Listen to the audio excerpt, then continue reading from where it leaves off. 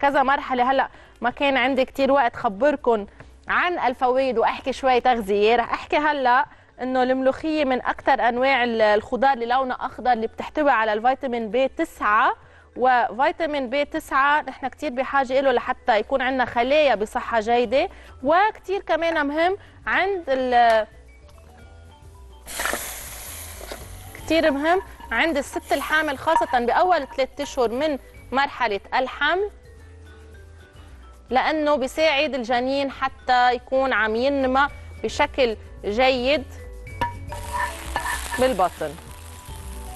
الملوخية كمان مليانة ألياف غذائية. ومثل ما قلت فيتامينات ومعادن عديد- عديدة منها البوتاسيوم اللي هو كتير منيح لصحة القلب. يكون عندنا صحة جيدة للقلب وهو بيشتغل بشكل معاكس للصوديوم اللي هو الملح. لما نقول صوديوم بنقول ضغط دم عالي ولما نقول عكسه اللي هو البوتاسيوم بخفف آه، ضغط الدم العالي وبحافظ على صحة قلب جيدة كتير. رح اترك كمان الملوخية على النار بعد شوي.